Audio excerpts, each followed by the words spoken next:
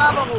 Let's make ice cream. Cone, ice, flavoring, whipped cream.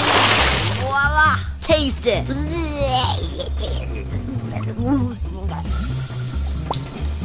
Yuck! This tastes absolutely terrible. This is garbage.